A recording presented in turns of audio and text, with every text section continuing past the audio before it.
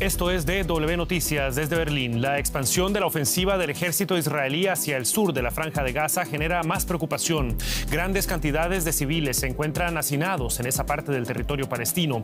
Muchos de ellos huyeron desde el norte durante los primeros días de la respuesta militar de Israel a los atentados terroristas de Hamas del pasado 7 de octubre. Ahora afirman no hay ningún lugar seguro donde ir. Estos son nuestros titulares. Un comandante israelí asegura que su ejército está cerca de completar los objetivos en el norte de Gaza. Ahora las fuerzas de defensa anuncian operativos en todo el enclave.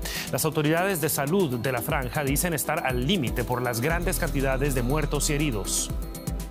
Y en Venezuela, a pesar de una baja participación, los electores aprueban en un referendo la disputa territorial de la región del Esequibo, un territorio rico en petróleo y adjudicado, según la principal Corte de Naciones Unidas, a la vecina Guyana. Y el presidente de Brasil, Luis Ignacio Lula da Silva, visita Berlín en momentos críticos para el acuerdo de libre comercio entre la Unión Europea y el Mercosur. Veremos por qué el tiempo apremia para la aprobación del más ambicioso acuerdo comercial de Latinoamérica en la economía.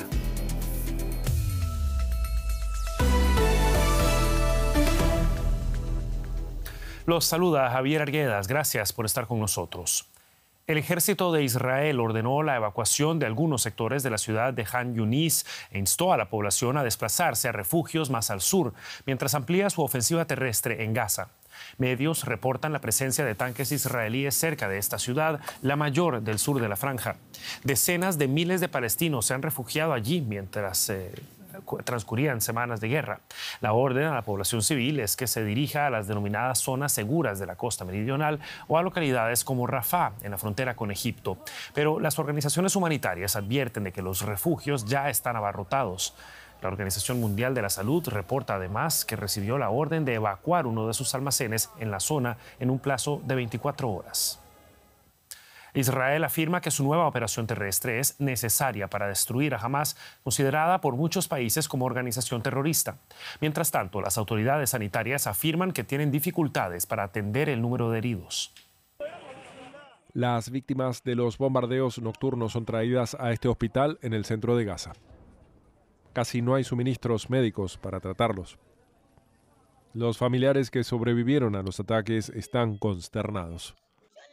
¿Qué puedo decir? Es una catástrofe. Los ataques están cayendo sobre nosotros. Mi hija de cuatro años está bajo los escombros. No sé si está viva o muerta. Hay 54 mártires. A medida que más civiles mueren en la franja de Gaza, Israel afirma que ha alcanzado más objetivos de Hamas en toda la región. Este es el video más reciente publicado por el ejército israelí afirma que estos edificios eran utilizados por Hamas. Insiste en que está tratando de evitar víctimas civiles. Estamos proporcionando instrucciones precisas a los residentes de Gaza cerca de los centros de operaciones de Hamas, instándolos a alejarse temporalmente del peligro en el que los coloca Hamas. Estamos arrojando folletos con códigos QR que abren un mapa que guía a los gazatíes hacia áreas más seguras. En Rafah, al sur de Gaza, buscan sobrevivientes entre los escombros. Afirman que las autoridades israelíes les prometieron seguridad en la ciudad.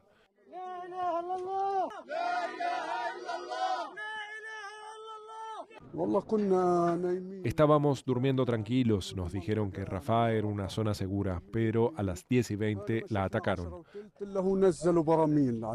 destruyendo todo. Había niños, mujeres y mártires. No hay lugar seguro, ni Rafah, ni Khan Yunis, ni Gaza, ni Deir. A medida que Israel intensifica sus operaciones en Gaza, los hospitales de la zona, que apenas funcionan, esperan recibir más pacientes en las próximas horas y días.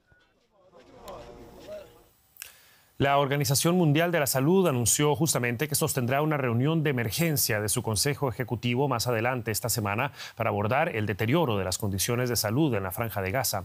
Solo unos pocos hospitales se mantienen en funcionamiento luego de semanas de bombardeos de Israel. Agencias humanitarias advierten que la situación sanitaria ya es precaria. Cada vez más palestinos desplazados son víctimas de infecciones letales y se teme que la hepatitis, la diarrea y las enfermedades respiratorias puedan causar más muertes que las bombas y los misiles. Aquí, en el sur de la franja de Gaza, Dina Abu Tabsh lleva a su hija a una clínica en Yan Yunis. Mi hija tiene fiebre, tos y resfrío. Nos desplazaron a estas escuelas y hay muchos niños aquí. Los niños han cogido infecciones debido al hacinamiento. La situación es difícil tanto para mi hija como para los demás niños.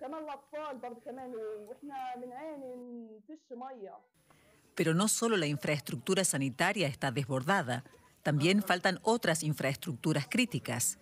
Y no hay suficiente agua potable ni alimentos. Muchos habitantes de Gaza sobreviven con una sola comida al día, dando prioridad a los niños. A medida que más familias huyen del conflicto, las deficiencias sanitarias van afectando a toda la franja asediada, provocando enfermedades relacionadas con la higiene, como las plagas de piojos y la sarna.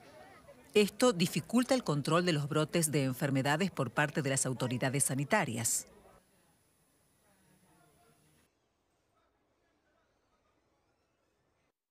Ahora mismo no hay forma de controlar la propagación de los contagios, especialmente si la guerra continúa. Falta agua potable para el consumo humano, junto con la escasez de energía y electricidad para hacer funcionar los generadores.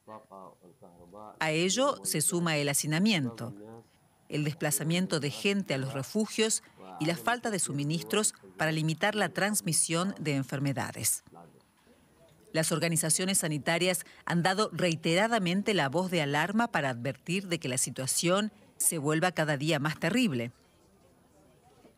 Dina tuvo que esperar horas para comprar artículos de primera necesidad, como medicinas para su hija enferma.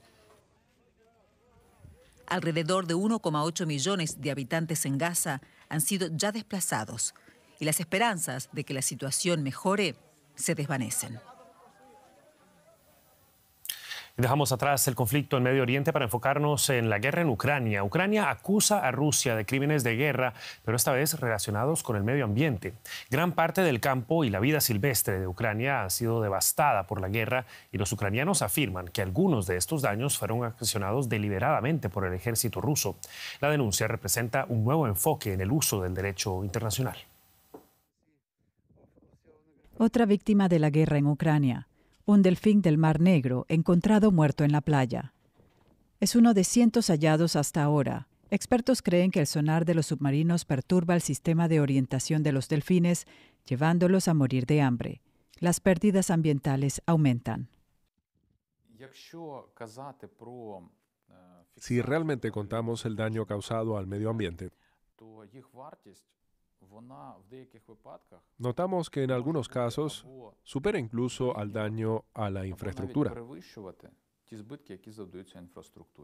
La guerra daña el medio ambiente de varias maneras. La quema de depósitos de petróleo significa emisión de dióxido de carbono y humo tóxico, y los enfrentamientos y minas dañan bosques y fauna. El mayor desastre ambiental de esta guerra, la destrucción de la presa Kayovka, en el sur de Ucrania, inundó cientos de kilómetros cuadrados, afectando no solo a miles de personas, sino también a grandes bosques y parques naturales. Ucrania busca enjuiciar el daño ambiental como crimen de guerra. Los socios de Ucrania envían expertos legales y ambientales para evaluar los daños. Los expertos tienen que venir hasta aquí, necesitan financiamiento y debemos medir lo que sea medible. No podremos registrar todo, pero seguramente será posible una estimación.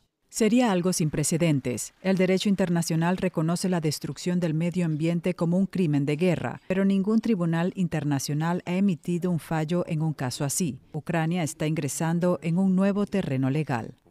Debemos presentar una factura al ocupante por cada centímetro de tierra ucraniana destruida. Los agresores en todo el mundo deben entender que las guerras son costosas y que el medio ambiente también tiene su precio. Ucrania registró hasta ahora 2.900 casos de crímenes de guerra ambientales y la cifra aumenta. Cada día la guerra causa nuevos daños al medio ambiente. Es tiempo de hacer un repaso de otras noticias que estamos siguiendo para ustedes a esta hora. Un alto general ruso murió en combate en Ucrania. Según fuentes pro-Kremlin, el general de división Vladimir Savatsky murió después de pisar una mina. Hay informes contradictorios sobre el lugar exacto en el que ocurrió el incidente, pero se cree que Savatsky se encontraba en la región de Gerson. El Ministerio de Defensa de Rusia no ha confirmado todavía la información. El presidente de China, Xi Jinping, recibió en Pekín a su homólogo bielorruso, Alexander Lukashenko. Es su segundo viaje a China este año. Lukashenko aseguró que su país es un socio confiable. Según Xi, China se opondrá a cualquier interferencia de fuerzas externas en Bielorrusia. En el país se estacionó parte de las tropas de Rusia que invadieron Ucrania. Y un tribunal de Mauritania condenó a cinco años de prisión al expresidente Mohamed Ul Abdelaziz por abusar de su poder para enriquecerse. Se cree que el exmandatario, que resultó electo en 2009, acumuló una fortuna valorada en 67 millones de euros durante sus 11 años en el poder.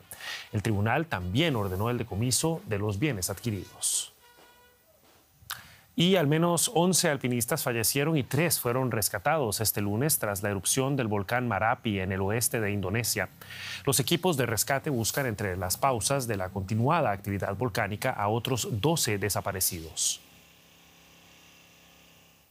Pasamos a noticias de América Latina y las autoridades electorales en Venezuela afirman que un 95% de los electores votó a favor del reclamo del Esequibo, un territorio de la vecina Guyana.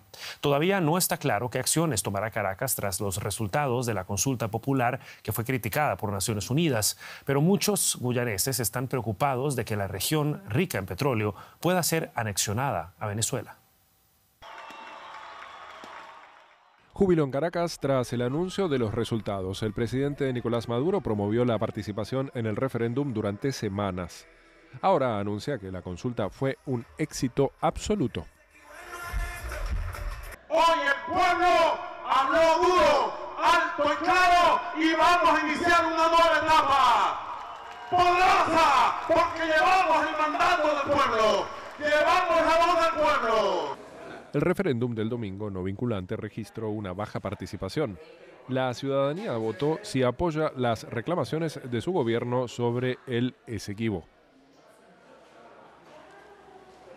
Se espera la recuperación de un espacio que por tanto tiempo ha estado, como el quien dice, desolado, como que si no tenía dueño.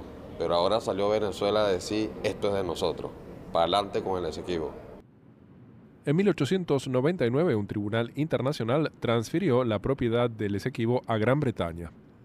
Tras su independencia, la Guyana mantuvo el control del territorio en disputa. Caracas sostiene que le pertenece porque estuvo dentro de sus fronteras durante la época colonial española. El gobierno venezolano reforzó su demanda tras el descubrimiento de petróleo en 2015 en aguas del Esequibo. En la Guyana, el gobierno respondió con una marcha. El presidente Irfan Ali quita peso al referéndum en Venezuela y asegura a la población que no tiene por qué temer, pero no pudo esconder su indignación. Maduro ha tomado un camino que ignora el orden internacional, la Corte Internacional de Justicia y los principios internacionales de justicia, dignidad y honor. No está claro cuál será el siguiente movimiento de Maduro. Pero en la Guyana crece el temor de que el referéndum sea un primer paso para la anexión del Esequibo.